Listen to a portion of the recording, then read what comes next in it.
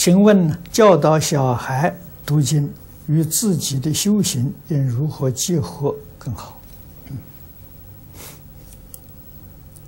教小朋友还是要以《弟子规》为主啊，《弟子规》在家里面，家里面的一家人，男女老少一起学，那个效果就非常之大。如果单讲小孩，大人不学，啊，小孩他也会想，啊，你教我，你自己不学，这是假的，骗我的，不是真的，啊，所以大人自己都做到了，他相信，啊，他就会很认真的学习，啊，所以《弟子规》在古时候不是教小孩的，啊，那文字不是教，不是教小孩，《弟子规》是身教。啊，所以诸位啊，一定要知道，我们这个中国的教育，中国的教育，它的特特色呢，就是家庭。啊，这是外国人没有的。啊，我们给他讲，他也不懂。啊，外国没有这个，那中国五千年了。啊，所以外国人呢，他看中国的历史。你看中国每一个朝代，啊，改朝换代的时候是动乱的，有战争的，但是时间都不长啊。啊，这个帝王他得到政权之后了，啊，所以开国的君王，啊，平定了这个动乱，啊，他拿到政权之后，至少有一百五十年到两百年，天下太平。啊，那个末代的皇帝大概又不守成规啊，这是是造了许多这个恶业，又引起别人革命。啊，如果他是真正啊这个守住啊老祖宗的教法，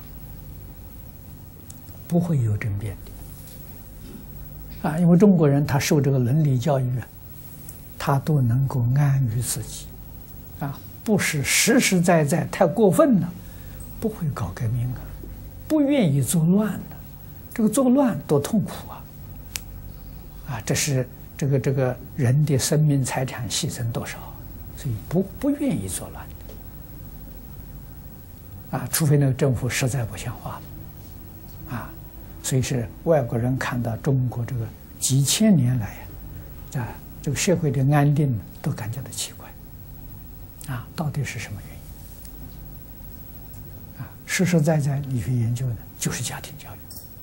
从小就从小孩的时候教，就教他做好人，一辈子做好人，这不是天下太平了？啊！所以中国教育说实在起来讲起来，现在的话讲爱的教育，这个我们在讲习当中讲了很多次啊。啊，中国教育就是从古人里头，父子有亲的。那个父子的情爱，天生的，不是不是哪里学来的。啊，你现在细心去观察呢，观察小孩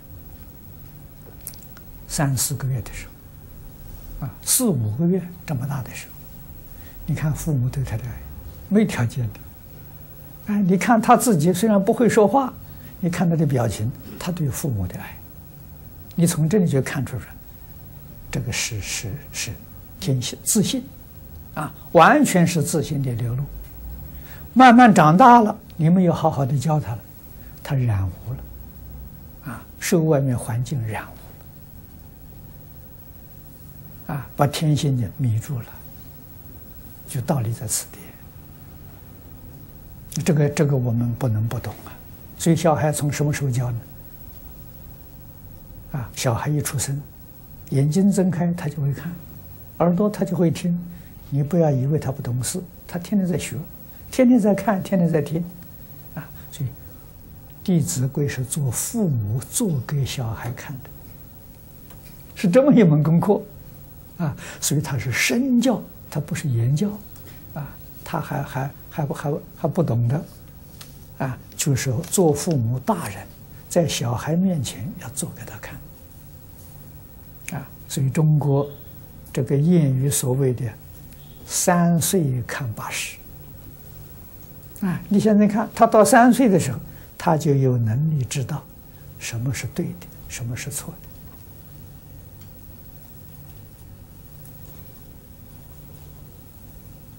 的，啊，所以是少成若天性呢，习惯成自然的，这个教育多重要啊！啊，如果你说三岁不就到三岁再教，已经迟了，他已经染污的根已经生了，那个麻烦可就大了。啊，所以中国人重视教育。啊，我是上一个星期，从台湾来了个台湾一个淡淡江大学一个教授，啊，吴教授，啊，我们也是第一次见面，他来看我，啊。告诉我，美国的摩门教。啊，我想可能我们香港也有。啊，摩门教，他他们很重视家庭教育，而把中国人家的家谱啊，他们收集了很多很多。啊，他说大概有一万多种。啊，这个是是是可能，因为在从前家家都有啊，就有家谱啊。啊，家谱多半都放到祠堂里头啊！啊，这那那那这是这个这个教是一个有心人呐！啊，那我们文化大革命的时候，通通都没有了。啊，他们还收集这么多。啊，听说台湾这个故宫博物博物院的，从他们那里拷贝了一套。啊，家谱里面都有家训，都有家规。哎，所以这个东西要是我们把它找的时候收集起来，编成一本呢，那就是中国的家庭教育啊，那真是样样大观呐！啊，《弟子规》，是中国家教的，等于说基本的这个必修的一部分啊，共同的科目啊，因为每个家教他教的教子孙的时候。跟他的职业有关系，啊，你比如他这个经商的，他教你怎么做生意；那，种田的教你怎么样耕种，他他他他各个行业不同啊，他他有他的科目，啊，所以那真正是是洋洋大观呢，啊，我现在想的时候想办法来收集，啊，这才能看到中国几千年来这个这个教育的根。啊，你看他是怎么样教人的啊？所以《弟子规》是个共同的科目，基本科目，也就是不管你修学哪一个行业，基本的，那你必须要做到啊。所以这个是不不能够不知道的啊。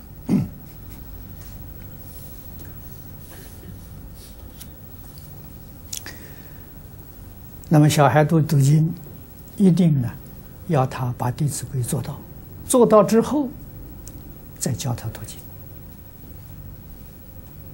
啊，所以《弟子规》说，从前是身教，啊，三岁还不能读经，读经大概从到五六岁，五六岁呀，他的根已经非常好